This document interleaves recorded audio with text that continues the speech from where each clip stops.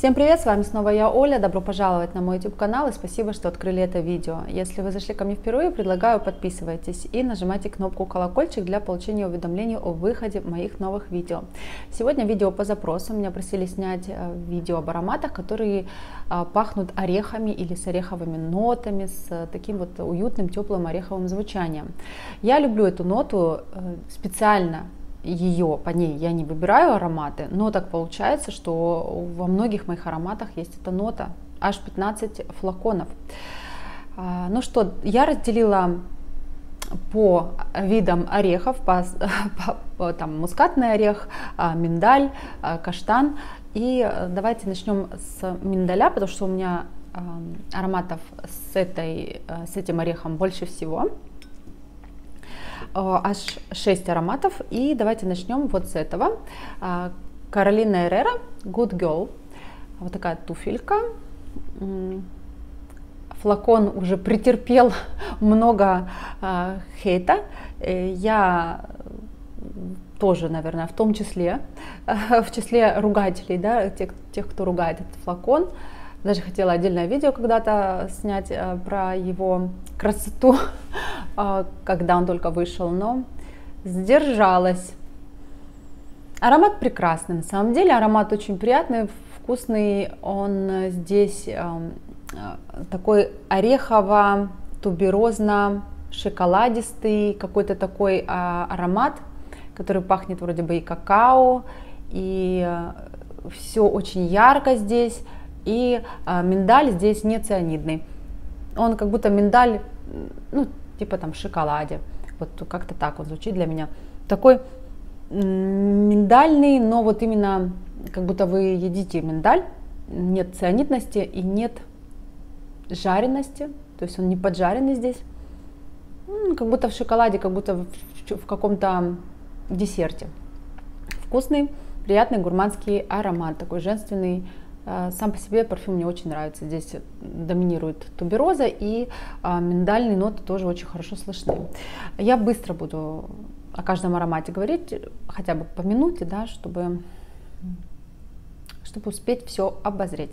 Далее аромат с нотой миндаля, также это манталь мукхалат. Это больше аромат для меня про клубнику и про э, бальзамичность. Он такой бальзамичный, восточный. Э, такой, здесь пахнет такой, знаете, пенкой клубничной, когда вы варите варенье. Не знаю, я варенье не варю, честно признаюсь вам, но моя мама, когда я была маленькая, варила варенье из земляники или клубники, и вот эта пенка, она пахла так. Здесь есть миндаль, но я его меньше слышу, чем, например, бальзам. А, здесь бальзамы более слышны. И как-то вот носила на днях этот аромат. А, не получается у меня с ним запойных каких-то соприкосновений, такое точечное нанесение, то есть вот точечное использование. А, раз использую, потом долго не пользуюсь. Как-то так у меня с этим парфюмом, но он классный. Классный. И слышится здесь все-таки миндаль, слышится ореховость именно такая. И вот здесь тоже в этом аромате есть миндаль, такая миндальная клубника бальзамическая. Далее, Blossom Love амуаж, еще один миндаль. Здесь цианидность миндаля. Э, многим слышится цианидность. Я чувствую, да, горчинку миндаля и какую-то свежинку в аромате. Здесь вообще как бы про вишню, про вишневый цвет аромат и обыгрывается здесь ромом и миндальными нотами. И вот здесь именно такая, знаете, алкогольности я слышу меньше, но вот а, цветочности, вот этой розовой цветочности, вот этих лепестков розовых вишни, бело-розовых таких. И а, горчинка, то есть он не горький аромат, но чувствуется здесь миндаль именно как цианидный. Я соглашусь. Я слышу в этом аромате а, чистоту, я его воспринимаю как чистый аромат чистоты для меня. Не слышится он мне сильно там тяжелым каким-то. Кстати, люблю его в теплое время года, вот прям в позднюю весну, когда уже тепло, когда цветение. Кстати э, говоря, вот в конце апреля, в мае э, уместен этот аромат. Очень классный, хороший такой вот вишневый цветочный аромат. Точнее, он не вишневый, он цветочный, вот э, цветы вишни. И миндальная составляющая здесь тоже очень слышна. Далее Мандерла Дисицилия, недавно я вам показывала в предыдущем обзоре, э, пользуюсь сейчас им. А, здесь э, миндальное молочко, как будто бы. Такое вот молочность есть, такая пломбирность миндальная, как будто в морожене присутствует стружка миндаля или там как-то так. Или есть такие вот круассаны, я их очень люблю, в ароме у нас, а, с миндалем. И там миндаль прям плашечками такими, знаете, вот прям тоненько-тоненько порезанный, и прямо они сверху, и внутри крем. Вот как-то так пахнет кремовый этот аромат, таким вот пломбирно-кремовый какой-то он миндальный. В старте он анисовый, анис дает такой холодок, немножко обжигающий.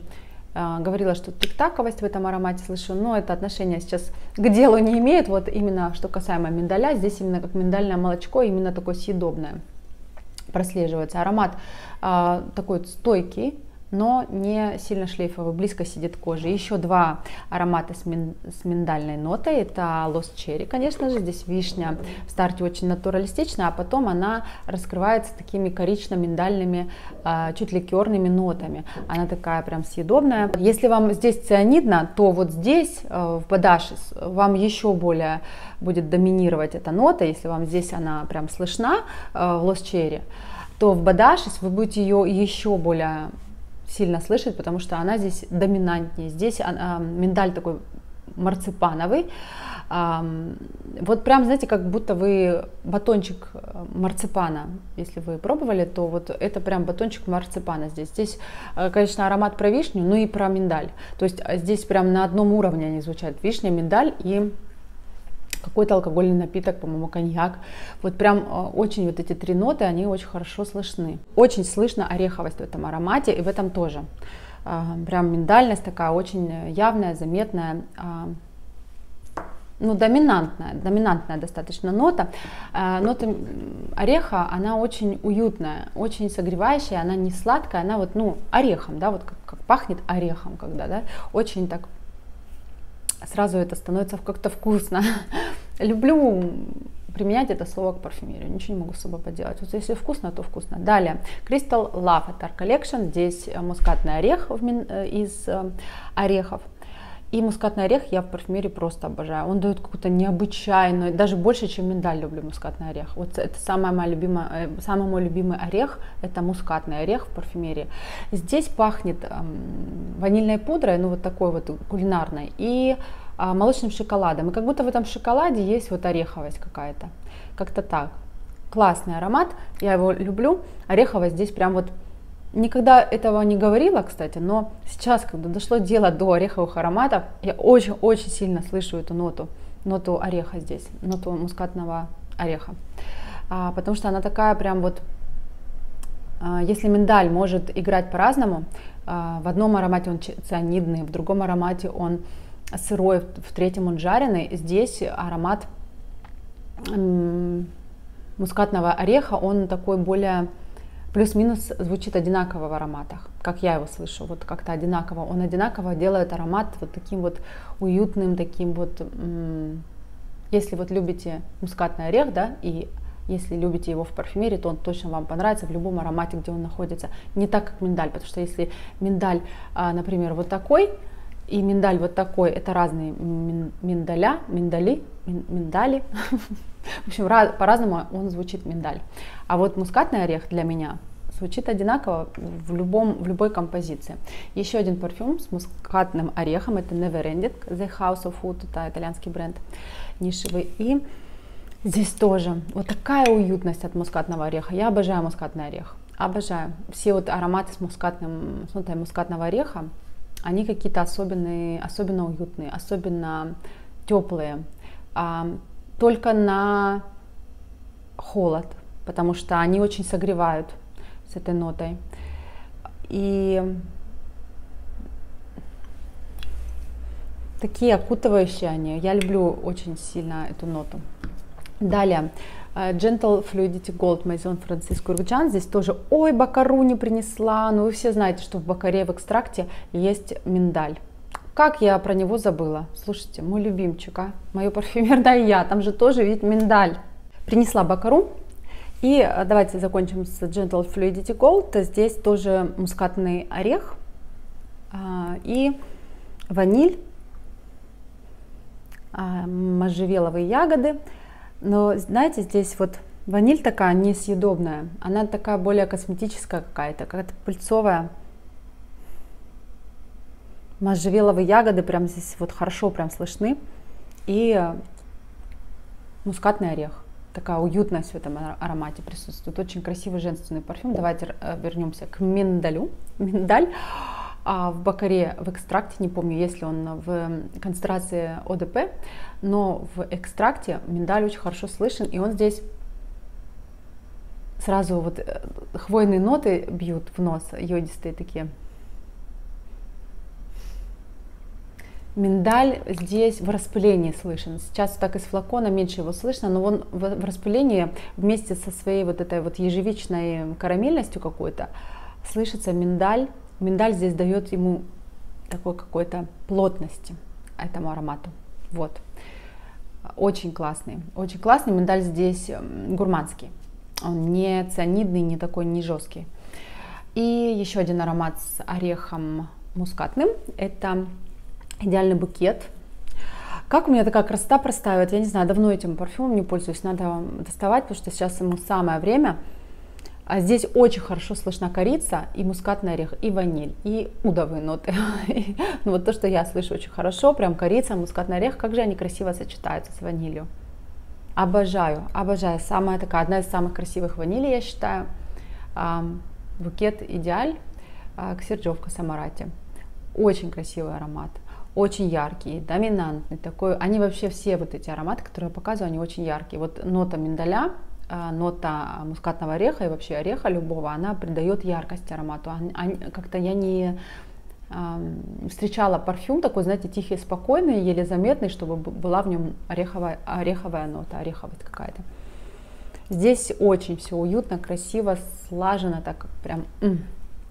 Кстати, у меня вот эти ароматы за счет ноты э, мускатного ореха, вот эта нота, они мне прям здесь перекликаются очень сильно. Они не похожи по запаху, но вот эта нота, она прям одинаково так прям звучит красиво. Дальше каштан. У меня три каштана есть, точнее три каштановых аромата. Давайте начнем вот с этого. Солей, э, Оркид Солей, Том Форд. И здесь прям жареный такой каштан, очень э, на любителя, я бы сказала. Здесь вообще этот аромат на любителя. И когда он уже развеивается, раскрывается, он пахнет маслом для загара. А, в начале, пока аромат усядется, он пахнет и машинным маслом, и какими-то дегтярными оттенками, и какими-то каким-то производственным, чем-то таким промышленным. С Франк Боклет сравнивают этот аромат не с кокаин, по-моему, а что там какие-то очень лютые вещи про эти ароматы два говорят. Но я слышу, что он непростой. Я слышу эту какую-то промышленность в этом аромате. Но когда он насаживается на кожу, уже идет работа с кожей, он супер. Ну, меня он полюбил, и я его тоже. Здесь тубероза, взбитые сливки и каштаны. Жареные каштаны. Очень жареные каштаны. Ну, в смысле, очень. Есть вот каштаны, а есть жареные прям каштаны. Они отличаются. Здесь прям пережаренные каштаны, я бы сказала. Такой непростой аромат. А, и тоже руки пока до него не доходят, обязательно я им буду пользоваться в дальнейшем. Обязательно, потому что очень красивый аромат. Он а, такой доминантный, дорогой, дорого звучит и заметный. Я люблю заметные ароматы, заявлять о себе с помощью аромата. Лучше я так проще оденусь, спокойно там типа чер, чер, черно-белый такой или какой-то нюдовое или серое что-то такие одежи, стиль, лук, но у меня будет яркий всегда аромат. Я люблю яркие ароматы. Э, далее за деквальтер, здесь, здесь тоже каштаны, но они такие умеренные, умеренно звучат каштаны здесь. Ой, как же я люблю этот аромат. Прям расплываюсь в улыбке, вы видите. Это взбитые сливки. Здесь очень сильно слышна нота взбитых сливок.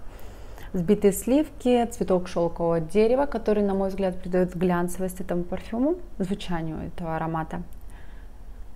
И вот каштаны, сандал, в общем, все, что я люблю. Каштаны здесь эм, не чувствуется жарености, какой-то горелости, нет. Здесь просто слышится а, ореховость, и здесь э, в пирамиде каштаны. Очень хорошо слышится ореховость в этом парфюме, как будто десерт с орехом, с каштанами и со взбитыми сливками. И еще один аромат, это тубероза каштан. а, бутиковая линейка Ланком. Здесь прям вот пахнет, здесь три ноты, не помню какая третья, но пахнет туберозой и каштаном. Вот когда раз, э, с флакона, вот я с пульвика ню, нюхаю а, этот аромат, он пахнет туберозой прям сильно-сильно-сильно. А когда распыляешь, прям 50 на 50 с каштаном. Вот прям каштановая тубероза. Такой очень на любителя аромат, конечно, но мне такое э, нравится, мне такое по душе. Пока еще не носила его много, там пару раз распыляла. А просто не, сейчас не хочу распылять, э, потому что я буду в ближайшие три дня пахнуть этим ароматом от одного распыления. Вот такой он, да. Едкий прям, такая едкая здесь тубероза, но она вот приглушается каштановыми нотами, такими не то чтобы приглушается, нет, а каштан, нота каштана переводит немножко внимание на себя в этом аромате. И поэтому она такая здесь становится вот гурманская. Э, когда аромат э, с орехом, повторюсь, он более такое звучание у него более а, ну, гурманское. Практически все, что я показываю, это или гурманика, или восток. Далее, еще один аромат Angel Muse. Здесь идут уже у нас лесной орех. И это единственный аромат с лесным орехом. Angel Muse. Здесь такие горькие пачули, которые, вот из-за которых сложно мне носить этот аромат. В туалетной воде, конечно, все попроще, но здесь все глубже. глубже и такой прям... А, вот прям, если любите этот аромат, если... Да что ж такое-то? Если любите такой, вот, такое яркое звучание, он вам точно подойдет. Он, э, а, здесь паста, паста лесного ореха, такая в стиле нутеллы, даже нутелла больше шоколадная, но в стиле скуби, скуби, вот. Ореховая паста и пачули, ореховая паста и пачули, пачули, ореховая паста, вот так.